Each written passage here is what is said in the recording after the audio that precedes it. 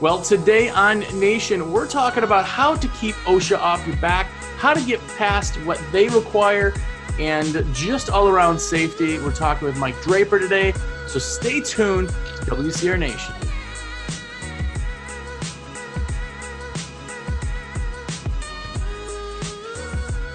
What's up, everybody? Jersey here from WCR Nation and WindowCleaner.com, and you are here.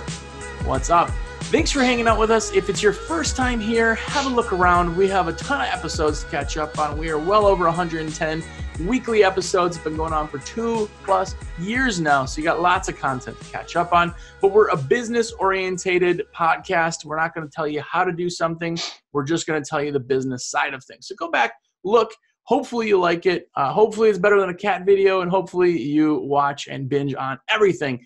Uh, if you're one of the elite, one of the cool kids, somebody who buys your supplies through me and watches and thumbs up and comments on every YouTube video, well, it is because of you that I get to have name brand taco seasoning. That was the last one. I love it. By the way, guys, if you ever want me to put uh, supplies in for you, the the the awesome thing is, go ahead and put it in your cart, shop whenever, and then just be like, text me, Jersey, what's up? It's all in my cart. And the new trend is just telling me what kind of name brand things that I can buy by putting the order in. It's absolutely awesome. But if you want me to, to be your rep, which I want to be, 862 312 2026 is my number. That's a cell. Text me, call me, whatever. A couple of shout outs today. Derek Holloway, what's going on, man? Uh, Chaz Miller with the name brand Band Aids. Uh, Mike Rayner, what's going on? Steve Donahue and Matt Clabeau, what's up, man? Uh, those are some of the cool kids, if you didn't know, by the way. But today we're talking about something that is in the top three of the scariest of all of the topics. It's up there with taxes and uh, the government there, um, but it's OSHA. OSHA is a four letter word for a reason. Like it can be very intimidating when you talk OSHA because a lot of us we just don't have the training. We just don't know. And it scares us to dive into it. We think we're above it. We think it'll never happen to us. But OSHA compliance is huge. It's huge. It's so huge, in fact. Mike Draper, which you know and love, has started something that is just based just on safety itself. What's going on, Mike? Hey, Josh. How are you? Thanks I for having am, me on today. I'm great, man. You are everywhere. Uh, if, if, people know you, um, but you're everywhere. I see you at every uh, uh, event that goes on. You're doing classes all across the country. But for anybody who doesn't know you, tell us kind of a, a, a synopsis of who you are, what you're doing, what's your history, and what you do now. Oh yeah. So, um, well, much like many of your viewers and listeners, and that um, I'm I'm a window cleaner too. Uh, I started, you know, in the business when I was 16 years old. Um, I built my own company uh, in Central Illinois here, and then uh, later sold it in 2014. We did everything. We did high rise, we did storefronts, residential, um, power washing as well. Um, I worked uh, for another distributor for a while, um, and you know got a lot of knowledge on products and and you know how to sell them and how to uh, present them really to companies and, and help solve problems. And then um, of course I own the American Window Cleaning magazine now and have for the last three years. And um, we're two years in, second year into uh, expert safety services. And uh, we're, we're a full service uh, safety consultant company. We deal everything from the engineered component uh, to a fall protection system all the way out to the cleaner themselves. Wow. And uh, like you said, we do a lot of classes and uh, we offer a lot of safety materials as well um, at expertsafetyservices.com. Nice. Well, something like uh, kind of what you do and what you've done. OSHA's not scary when you really know what they need, what they're requesting, and how to be safe and compliant with them. I mean, you've you've kind of peeled the layers back from the the, the sheep back from the ghost and saw who's underneath. Yeah, I mean, what we've done is we we recognize that uh, you know obviously OSHA's out there, and and for you that that don't know, I mean they're they are governing the employee employer relationship. So the guy that is a sole proprietor, he does get a little bit of a pass. Um, it's that's an unfortunate thing, and a lot of bigger business guys don't want to hear that. But that's the reality of it. And so, but employee employers, so if an employer is sending somebody out to do work, then OSHA says, look, you as an employer have a responsibility to take care of this employee so far as safety is concerned. Yeah. And then what then what we've done is everybody's heard of like OSHA 10 or OSHA 30.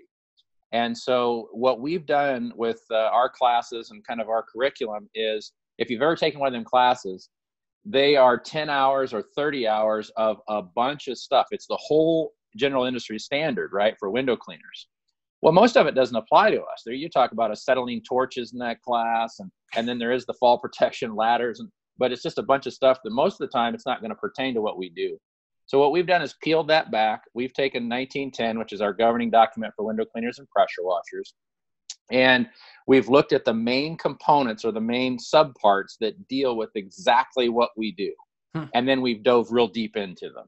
Nice. And so it basically, you're not, if you come to one of our classes or what we're doing, we're not going to talk about something that you don't need to know about. We're, we're diving really deep into what you do.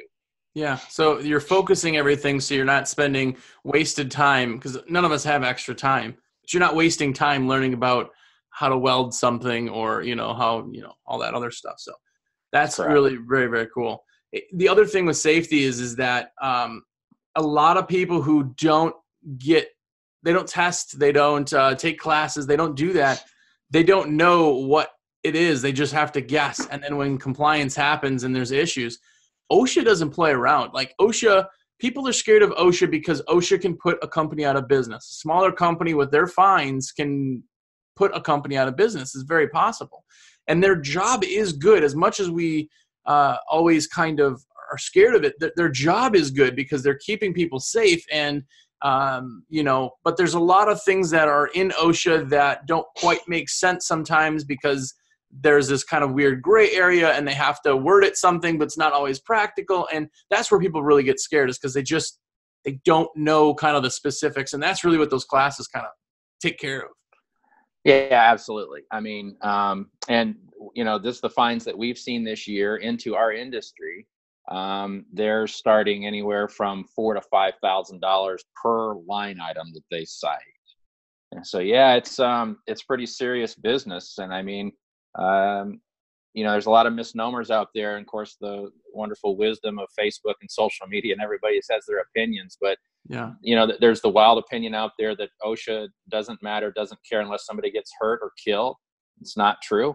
Um, we've got documented cases this year where OSHA has come out and done site enforcement uh, on jobs where no one was hurt, no one was killed, and many of them, Josh, were residential, yeah. residential jobs. So that was the big thing that changed with OSHA 1910. It encompassed residential, and um, yeah, it's um, it, it's serious. It's very yeah. serious. I uh, I knew of a guy who was moving a lift. He was in a parking lot. It was in the back parking lot of a grocery store, and he was moving the lift. But the you know boom uh, was up a little bit so he could see. He didn't have his harness on. Didn't have a harness even not tied in, but just not on. And uh, there was a guy that worked for OSHA that was grocery shopping and came out and uh, had to have a chat with him. And I, I, believe he got ticketed. The company he worked for got ticketed. So right, it's it's it's they're there, but if you know what they're looking for or how to please them that's the key and that's what we're talking about today we kind of have the top five ways to kind of get that osha compliance but to also keep osha off your back really yeah and, uh, yeah that's i mean there there are some things that uh, employers can do to um, make sure that uh, they're at least walking down that road of compliance. And yeah, uh, yeah you, you hit it on the head. There's there's really five areas where um, if we can if we can start down this path of those five then um, i don't like to call anything bulletproof but it's it's at least where an employer can start to show that they're they're doing the right thing yeah. So if you're listening right now, take out a pen and paper, write these down, and just understand them. This is the first step before you even start taking classes. You that's the stuff that really you're going to learn. But this is just a brief touch on it right now. But let's start off kind of with number five in one of the ways that you can keep them off your back. Yeah. So really, the the first, if you will, um, is a safety manual, and the reason the safety manual is so important is because it really sets the culture of the company. So you know, we always uh, talk about this when I go out and do a class, and let's just say there's employees there. A company brings in employees, and then they go back to their normal routine, and they hire another guy two days later. Well, what happens with that guy? Yeah. Uh, that's always our concern is that newbie that comes on, uh, the way OSHA looks at it, he doesn't go out and work until he's been trained on the equipment and the hazards that he's going to face.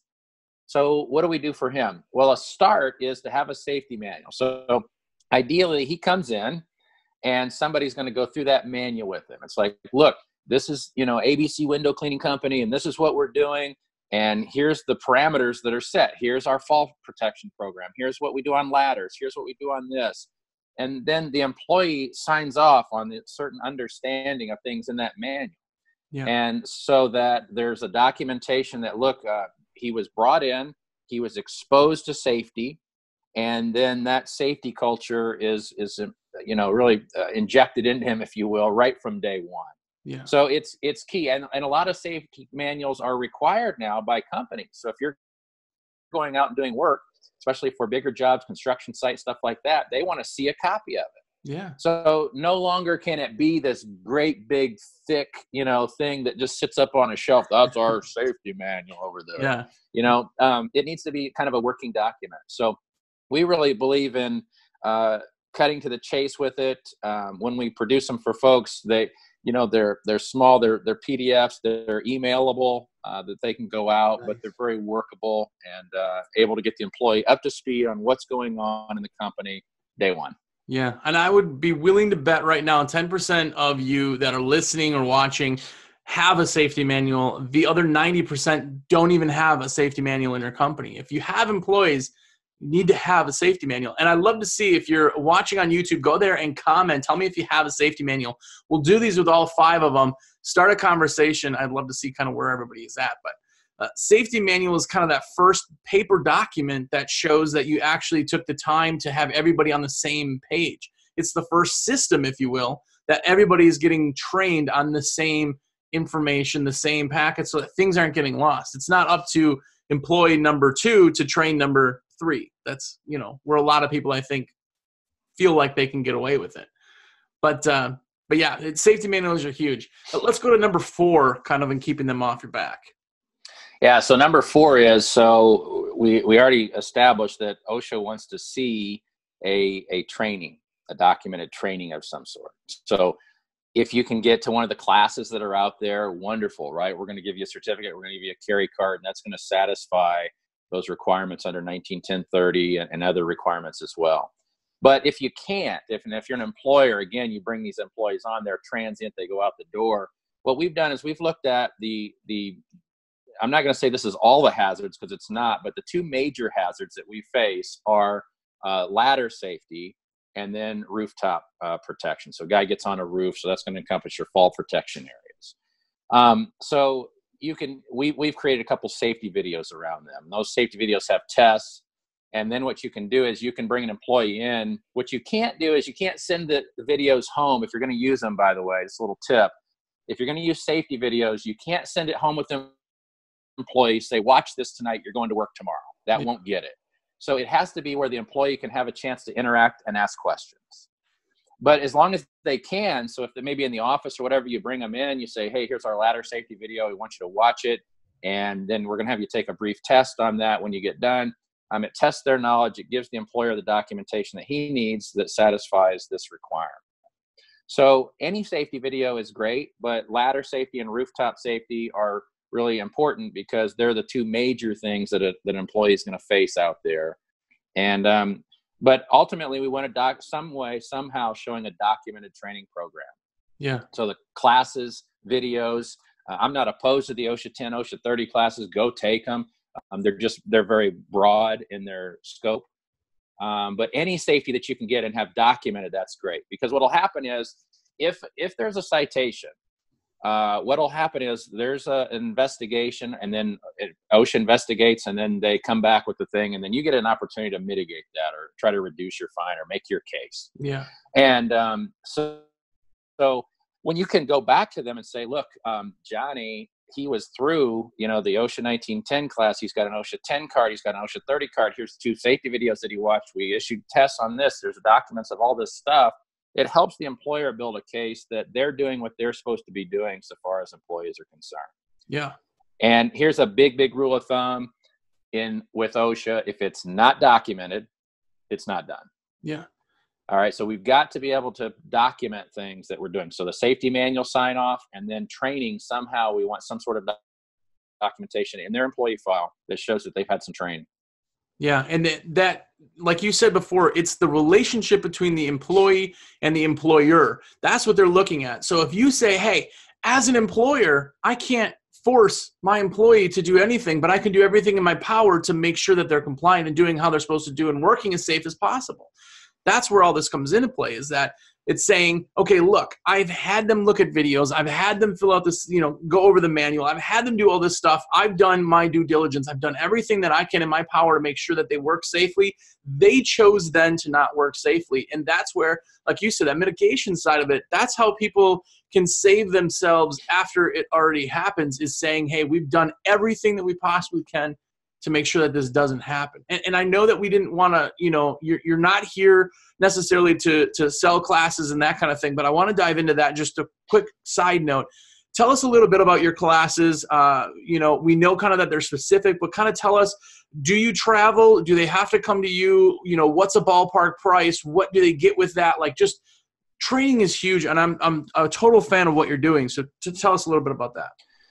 Yeah. So we, um, couple, several different things. I mean, we, we do have our OSHA 1910 class. We go all over the country to do this. I mean, um, we've, we've tried really this year to make it uh, very important, try to educate contractors um, that, hey, that they are issuing fines. And, um, you know, you know, at the end of the day though, Josh, I just, I just want to say this, that it's for me, we can talk talk about OSHA all we want to and fines and how to how to not get fines, but the the higher ground here is this: we we have an obligation as employers to make sure that regardless if OSHA is out there or not, we have an obligation to make sure that the employees go home at night. Yeah. They're the ones servicing our business. They're the ones helping us, you know, meet the goals that we want to and and go on and do the things that we want to.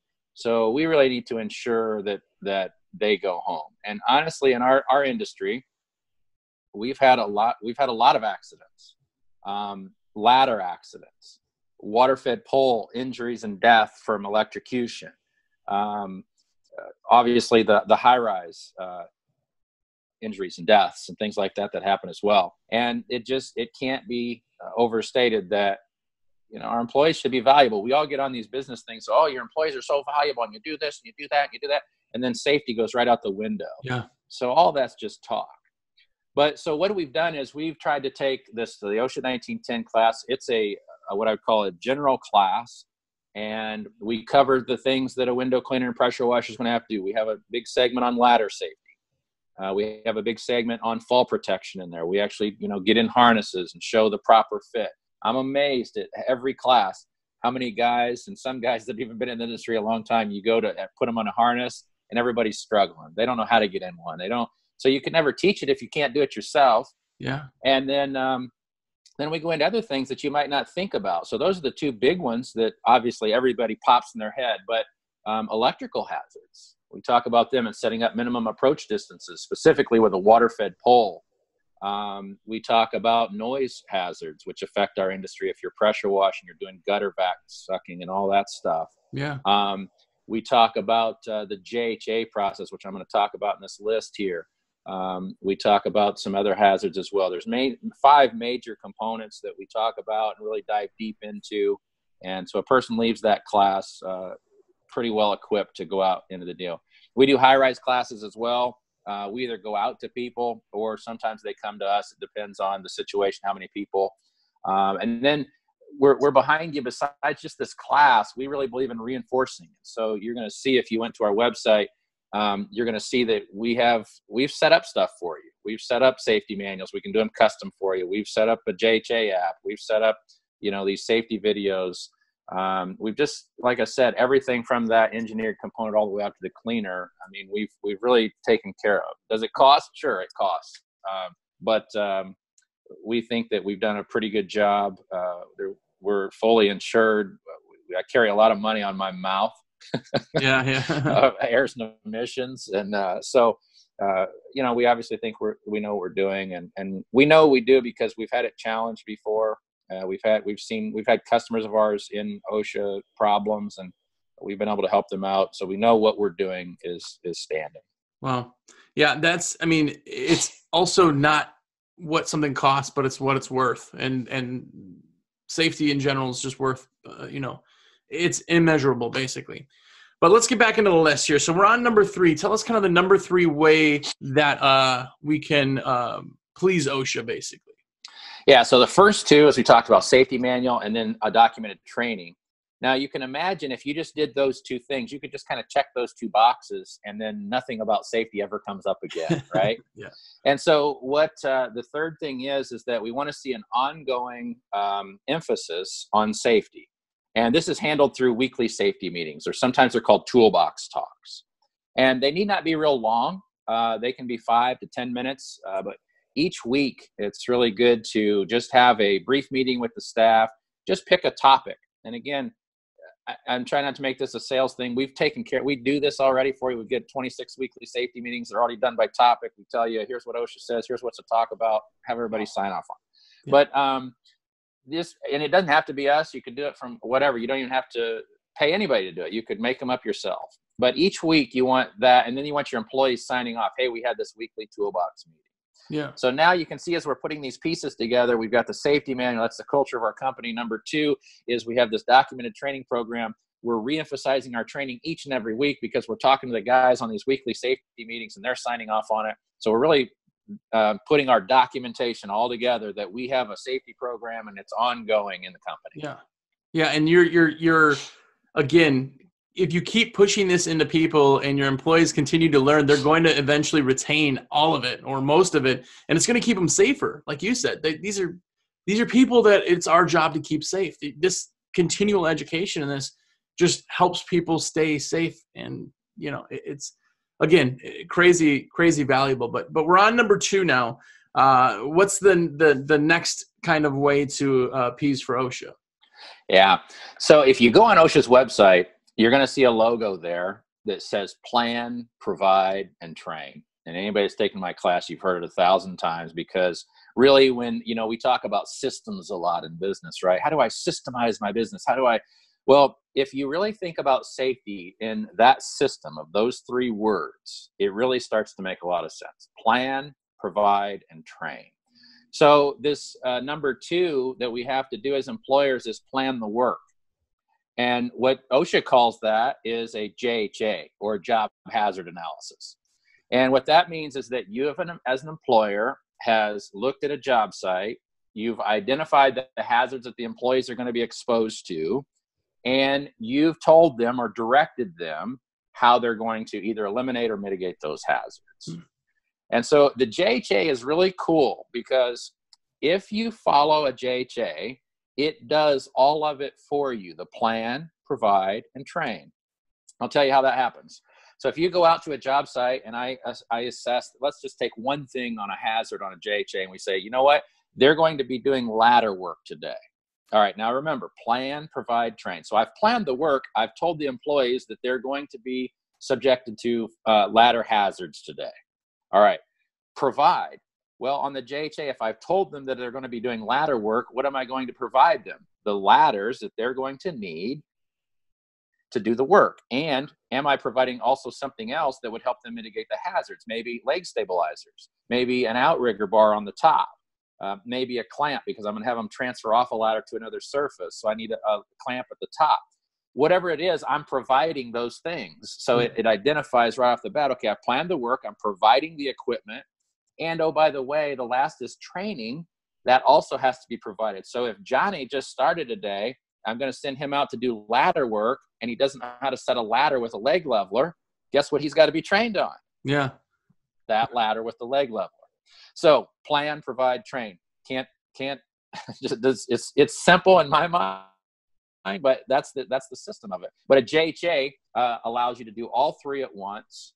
And here's the other thing is you you had mentioned a while back that you know as employers we can't always you know dictate and govern what the employers are doing out in the field that's true and it's specifically true in our industries because our industry is a mobile contractor world and it's really based on two men in a truck right? We're going to put two guys in a truck. We're going to send them out to do work, and then they're going to come back to us. That's that's the model.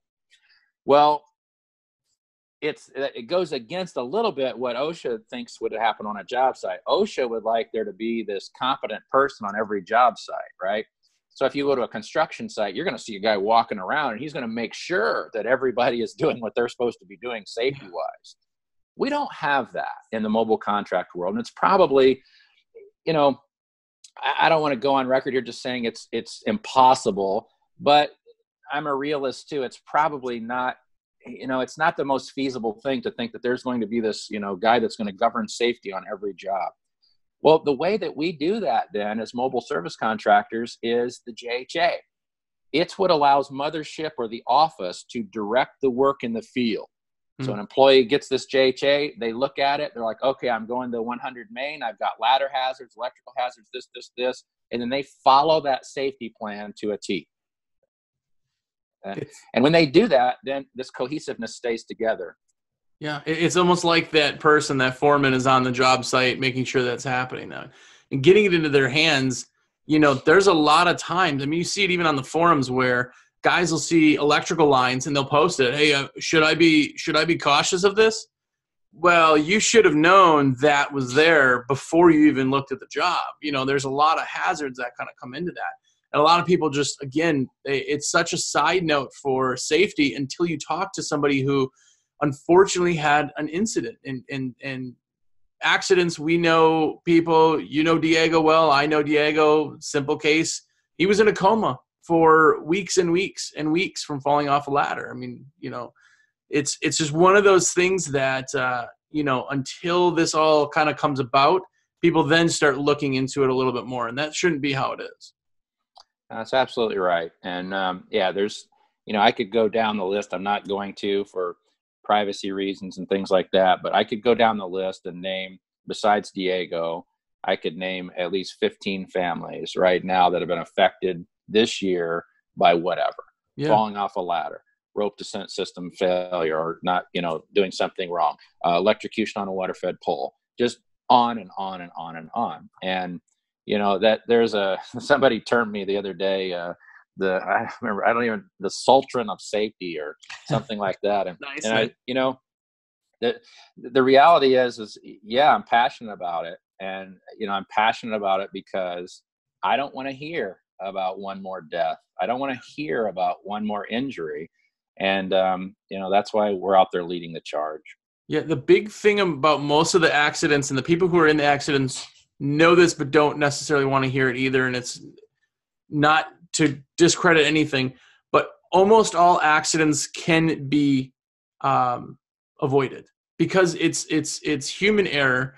Um, you know a process wasn't followed. There's a lot of that that you could you can get to a, an industry that is as dangerous as ours and limit that down to next to no injuries if everybody just magically could do things the way they're supposed to yeah. And ultimately, and I'm not sitting here saying that, uh, hey, take my training and you'll never have an accident because I've been in shops this year where I've went in, done trainings, done full day trainings with everybody. And, uh, you know, I'm watching them, you know, on the news. And so it's like, it, it, it has to be a mindset. It's not about just the training or the safety manual or even a JHA. It has to be a mindset in your company. You have to be promoting this stuff all the time. Yeah. Um, OSHA knows, and if you look at their documents, they kind of write this way. Um, they they know what they're trying to do is they would love to change the mindset of people going into work. You know, like you said, somebody posts something, should I be here? Well, that's already a red flag if you're asking a question, right? Yeah. Or if you have a guy that's on a ladder and you say, hey, I need somebody to base this ladder. Guess what? It's already unsafe because yeah. you wouldn't be asking somebody to base it if it wasn't a sketchy situation. Yeah. So, um, they really want to change mindsets, but they know that's very hard to do. And so they create rules. Yeah. And so rules seem to be easier for people to look at and say, oh, we can't do this or we can't do that. And rather than just principally, our mindset should be different. Yeah. Yeah. Well, let's get to the, the, the next one in the list of ways um, that you can kind of appease for OSHA, just be safer all around. Yeah. So we, like I said, we've got the safety manual, we've got our documented safety training program, we've got our weekly safety meetings. We're reinforcing everything that we're doing, and we're guiding and directing the work with our JHA. So OSHA understands very clearly that you could, as an employer, be doing all four of those things and just be checking boxes, right? Yep, we got this, we got this, we got this, and not really having a safe environment out there, especially in our world of mobile service contractors, right? Because again, we're sending two guys out to a job site, they're doing the work. So what uh, what we've seen this year through some OSHA fines and this and that is that, and we've seen this now in three different states, and so we kind of think that it's going to be a, a nationwide deal. Is that OSHA is wanting to see, okay, Josh, you've got this wonderful safety program, you got this manual, and you're bringing everybody in, you're documenting the safety training, you're you are doing these weekly safety meetings with everybody, and you also direct this work with a JHA but Josh, if you've got this wonderful safety program, have you ever found anybody not complying? And that's really what they're looking at is they wanted to see some sort of enforcement of the safety program. Yeah. Now, it can be positive or it can be negative. All right. So one negative would be to for you to go around as an owner and you would look at a job site and you would find Johnny not doing what he's supposed to doing. He's not using his fall protection kit, and you would write him up. Yeah. All right doesn't have to be fired necessarily, but he would have a citation. You'd, you'd issue that back. That's probably not the greatest way to run your company, right? Where everybody's in fear of the boss coming around and writing people up. Yeah. So the positive is another way. And uh, you know, I told you off air. If you go by a factory and you see some, the, there'll be a sign on the thing that says, "Hey, there's 220 working days of no accidents here." That's what they're doing. They're they've got some sort of enforcement policy that allows them to state that right? And they're rewarding the positive. Hey for every day we don't have a safety infraction we get you know a pizza party on friday or whatever. Yeah. But they're rewarding that positively. That's probably the better way to do it. But uh, some sort of of documentation that you're not just saying you're not just going through the motions checking the boxes on these other four things but that you're actually making people comply yeah and um, job site visits. So you could visit a job site, document that you did so, what time it was, put in the file, so that if any time there was an infraction, you could say, "No, here's a here's a record of our job site visits where we've we've shown compliance." Yeah. Or here here is a written warning. Here's where we wrote Johnny up because he wasn't on the ladder correctly. Um, and then here's our reward program for safety as well. So they want to see some reinforcement of your safety protocol. Yeah, and even even with the positive side, there's going to be a lot more positive than negative, right? Maybe you yeah. don't catch anybody for months being, you know, not doing what they're supposed to, but the positive side of it is continually keeping it in their brains like the weekly trainings. Keeping it in somebody's brain means that eventually it's just going to be second nature to them. You have to do something, what do they say, you know, 10,000 hours at something to be a professional. Like you have to continue to put this in people's brains so that they're automatically doing exactly what they're supposed to do and automatically being safe. And it takes a long time because all of us know that time is money and sometimes doing things the way that we shouldn't be is faster. And I know that sounds horrible, but I know that a lot of us also have been in that position. There's people who have leaned off of a ladder. There are people who have done all that stuff because they figure they can do it a lot faster than doing it the proper way. But if you get it into somebody's brain. You've told them a thousand times they've gotten pizza parties, they've gotten bonuses, they've gotten all that for safe. It continues to be more and more just second nature to them.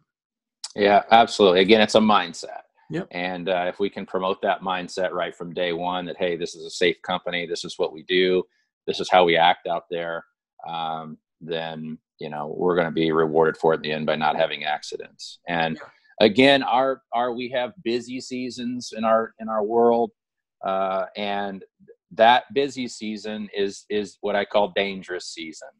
Because when we start getting into the mindset and we we've all done it i mean i remember when i ran my company we would set up you know residential homes at 9 o'clock 11 o'clock 1 o'clock and 3 o'clock right? Yeah. and so it's a push to go go go. And uh, when we start feeling that crunch uh, that's generally when when accidents take place because we're we're being rushed we're not thinking we're trying to get it done uh, we're under that grind of that busy season and um, that's statistically i mean we look at our industry i can see i can see when busy season starts because that's when accidents start. Yeah it's it's sad but true. And uh, before i let you go i do want to do something a little bit more interesting for everybody. Uh, let us know. Obviously, no names or anything, but tell us some of the violations that you have seen where people have gotten ticketed for.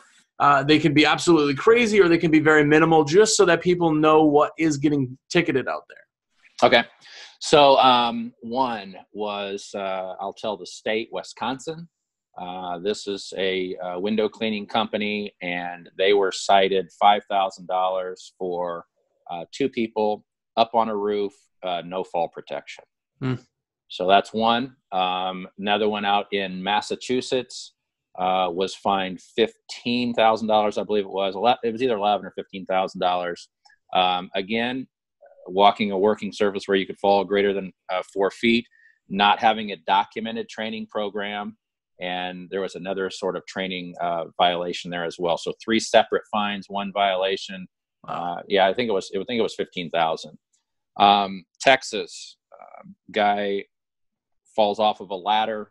It was, actually supposed to be um, secured. Supposed to be secured at the top. The JHA actually said that it was. Um, so this is a, a, a, good story, actually.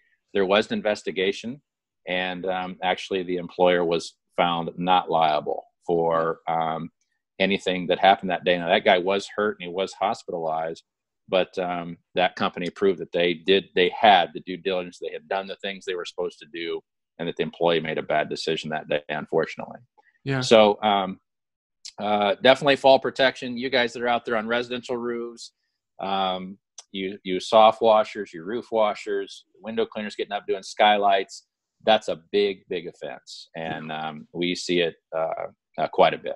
When you got one skylight on a roof, you quick jump off the ladder, go hit it, and come back. And nobody thinks that they have to have, you know, everybody doesn't. They don't purposely think they're above the law, but they think it's just not going to happen to them. And like you've proven, it, it does. It does, unfortunately. And, and it's about safety. Having that person go yeah. up there and, and walk that roof if something does happen, it's on your shoulders because you didn't do what you're supposed to do. You didn't get them trained and they didn't have the proper processes in place. I mean, that's that's the sad truth of the whole matter. So yeah, and that mentality, Josh, that you just mentioned, it's it's not going to happen to me. I always love this one because if I took the last 12 fatalities in our industry and I was able to go back and ask them, did you think it was going to happen to you today?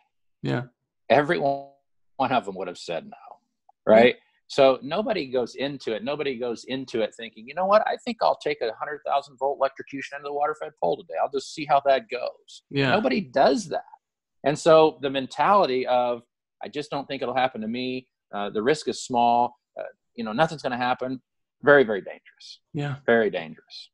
It really is. And if you want to see, talk, meet Mike, he's going to be at the huge convention. I know it's coming up quick here, but uh, it is August 8th and 9th here, 2019. Um, he's there. You could talk to him. But if somebody wants to contact you, if they want to sign up for a class, which I'm telling you guys, absolutely invest in that safety. But if they want to do that, how do they get a hold of? Um, Mike at expertsafetyservices.com is a good email. Uh, you can go on our website if you do want to consult with me or anything like this. Uh, I have a calendar on there as well. All my 15 minute cons- consultations are free. Just go in there and schedule yourself a time with me if you're if you're a busy guy like I am. Yeah. Um, but the email works. Um, my cell phone as well is 309 530 1215. You can text me, you can call me. I'm happy to help. Uh, really want to try to get uh, guys into a compliant nature with their businesses and um, so I'm happy to get you on the right path, even if you don't uh, you don't you know want to purchase anything from us. Uh, I'm still happy to consult with you and get you going on the right track. So yeah, please come see us at the huge convention. We're sold out on that safety class, Josh. Sold out. Nice. Can't take any more people. Um, Thad shut me down. They changed the rooms once for me, and uh, and then it's Thad's just like it's done. We're done. So yeah. Um, I think we've got 80 people in that class. Um, it's one of the bigger ones that we've ever taught, especially in a public uh, forum like that. Uh, we are going to have a booth there at the huge convention, big booth down uh, on the one side. So come see us, stop by. We got a lot of uh, uh, little giveaways and stickers and all kinds of little safety stuff that we're going to have there. So uh, come down, check it out. If you got any questions, I'll be there. Nice. Well, go out there, get compliant, be safe, put your company in the professional status. Um, I know we don't like talking about this one, and I appreciate all of you who are listening and uh, followed through this whole one. it's a it's a four letter word, but if you understand everything about it, it makes it so much more simpler. It's not scary. You know, if you turn the lights on, you can see what's there. You're just not wondering, and the wondering is what scares people. So they're not there to be intimidating. I've talked with uh, OSHA guys uh, on a personal level. They're just there to make sure that people are safe, and they always say if they could save one person from doing something that ends up killing them, that's amazing to them and you don't get the opportunity to do that. And now it's in your hands. If you have employees it's in your hands to be the one who creates that one who keeps somebody safe and like mike said allows them to go back home to their family at night. So thanks guys for watching. Uh, one more time uh, my direct number is 862 312 2026 please do call me if i can get you anything equipment related uh, I would love to be your rep. You can text me. I text all day. If you have bids or questions on anything, please do shoot me an email, jersey at windowcleaner.com. Uh, send me uh, pictures, whatever. I'm more than happy to help. And uh, thanks for watching. Be sure to give it a thumbs up if you're on YouTube. Go ahead and review it if you're on any of the other uh, podcast platforms. But thank you very much. If you do put an order in with me within the next week, the discount code this week is safety. If you say that, you're going to get 5% off your order if you order it through me. So that is the code.